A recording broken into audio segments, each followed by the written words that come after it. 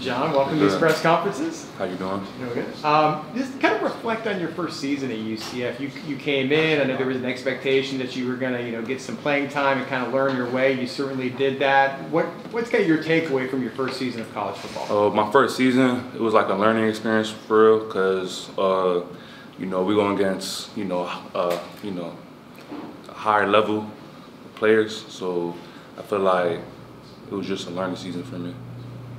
John, was there a moment last year like that all of a sudden it just kind of hit you like, man, I'm, we're, we're playing Big 12 football, we're playing, I'm playing at this elite level. Was there a moment that maybe it kind of struck you when that happened? Uh, when we went against Kansas State, you know, away over there, you know, that, was, I, that that's when I really felt like, dang, I'm playing in the Big 12, you know. so yeah, that's when it really struck me for real. So John, from that perspective, you had your year playing in the Big 12, playing at that higher level we were talking about. Now that you're there, you're kind of comfortable with it, relatively accepted it, sure. Um, what's the thing you're focused on to get better? What, what's John Walker doing now to be better? Uh, to be better than last year, you know, to work on the little things really, just uh, my get off, uh, just my hand placement, and you know, just really little things. Ain't, ain't too much I got to change. It's just little things really.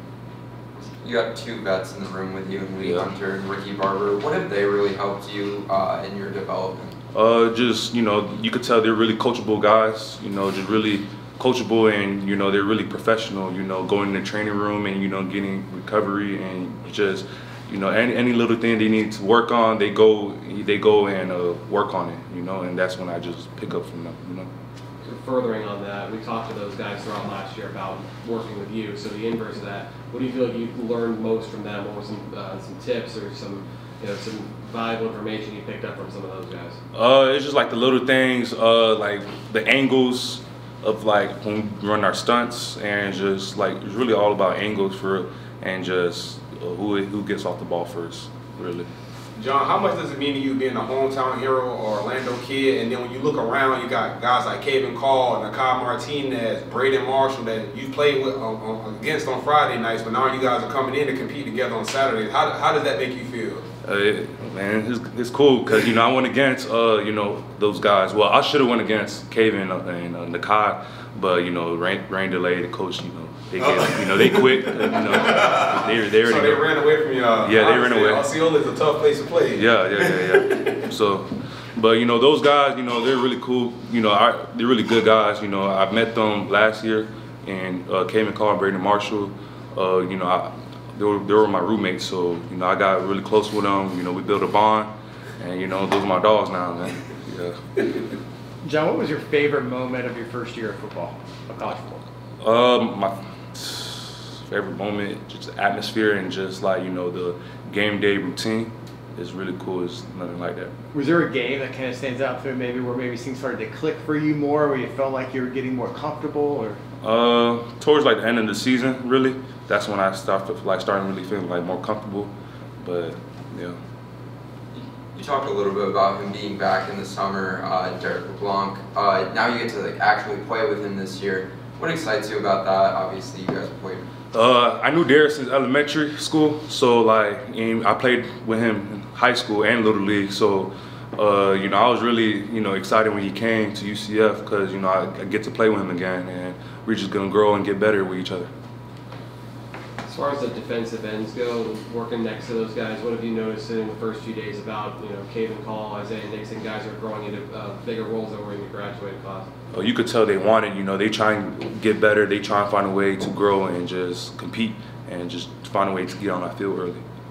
John, can you talk about that switch? I mean, when you talk, uh, you kind of look at you up here, uh, calm, cool, you know, but when you get on that field, you one of the nastiest football players I've ever seen from the high school level on up. Like, talk about that switch. Like, what is it about it where you can be this calm, but then when you put the pads on, you just like a monster? Man, when I get on the field, I just let all my energy loose, and afterwards, I be tired, so I just be really just chilling. You know, I don't got to do too much, just be chilling. Yeah. So they always talk about, you know, players will make the most improvement from their first year to the second year. So, I mean, this is a big year for you, your second year. What do you want to accomplish? What are your goals for this year? Uh, obviously, to win the Big 12 championship, uh, and just uh, to do better than last year.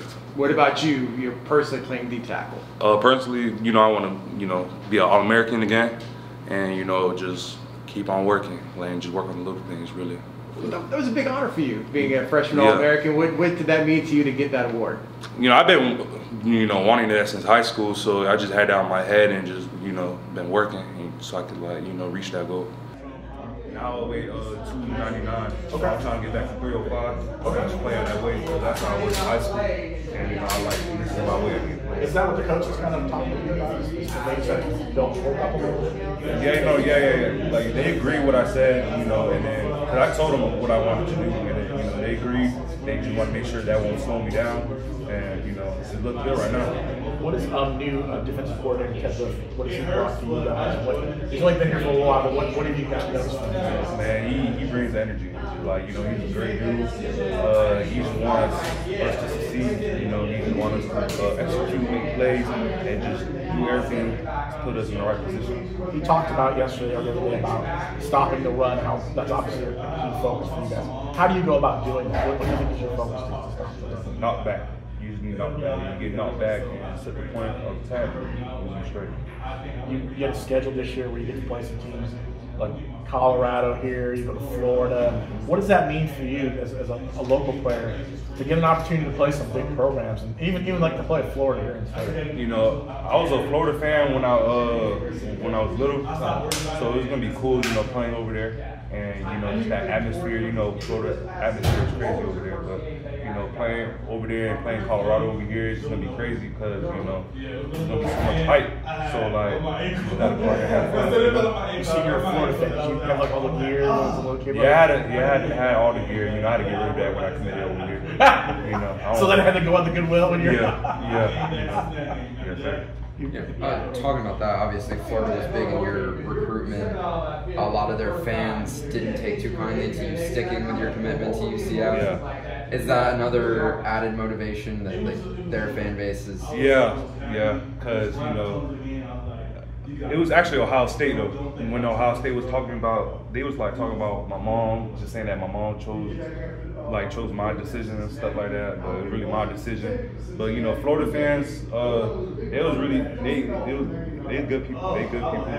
Uh, I really didn't get too much hate from them. Uh, well, well, not what I see, but I really said Ohio State was the one that, I guess maybe that hate stayed on the message Yeah. didn't get into Twitter. yeah, but. What, Um, what is it like? I'm sorry. Following along those lines, what is it like? You talked a little bit about this, but what does it mean as a, as a local player to play for this team and see how Coach Malzahn is, is recruiting these, these local guys? You guys that you maybe grew up going up, you know, going up against, you saw behind you. What's it like to know that his focus is, is local? I mean, is, is, Because to be honest, you don't gotta go too far to grab talent. You know, all the talent is around here. So why not just keep the local guys here and you know, and just build a foundation and just you know grow and be you know. make closer to the team. you see a lot of those recruits today that are like, Yeah, a lot of them. I mean, does it, does it give you guys, look, guys a little extra pep in your step to know you got young guys maybe watching you just to kind of see Yeah, what it's like? because you know, actually, I want to, I want to guess some of those guys that were, you know, Yeah. on that team when they were like sophomores and I was a senior and stuff. But uh, yeah, it's just cool to see all of them out there, you know, and just telling them, you know, this is the school you need to be at. You don't got to go far to, you know, play somewhere. This is where it's at. That's all I had to say. Speaking about someone that you played against at some point in high school, Jason Johnson, what's it like to been, see him just blow up during this first week of uh, spring practice? I know he's working with the ones today. Yeah, uh, man, he, he he's doing good, man. He's working, you know. He, you could tell he wants it, and you know he's gonna be he's, he's gonna have a good season. And obvi- starting more on that point, you have three DBs, all from Orlando or like the Orlando area, that are working with the ones. Yeah. Is that something that's exciting you? Where Yeah, that's really exciting. You know, seeing them young guys, you know, getting in there early and working and competing. Because you know, really, they're supposed to be in high school still and finish the second part of the semester. But you know, they're here working and you know, just trying to get better and be on that field and help the team and just doing what What have you noticed from like the offensive line? I There's a couple of new guys. I know Walt Player's an exciting player. Uh, what have you noticed from them? I just noticed that they want to, uh, you know, compete and get better, and you know, we just helping each other. You know, we ain't we ain't going out there to waste the day. We, you know, we we're competing and we're just trying. We, we know what's our end goal. We know we want where we want to be at. So we really just compete every time we hit the field. I know Walt Player was like a big, like Yeah. Big into competing with you during his uh, recruitment. He was big into like I want to play John Walker. Yeah, actually, yeah, actually, uh, when it was like during workouts, you know, he pulled me to the side. He just wanted to do like some, you know, pass rush fits, you know, with no pass. So you know, that's what we did. We went to the side, you know, just did some pass rush fits so you could like, you know, get the feel of, you know, a college D line, D lineman and how they move. So yeah, What's it like for you to like feed that guy for someone? It's cool because you know you could tell that he really wants to learn and really wants to like you know get on that field early. So it's really cool helping him out. I don't mind helping him because you know you could tell he really wants it.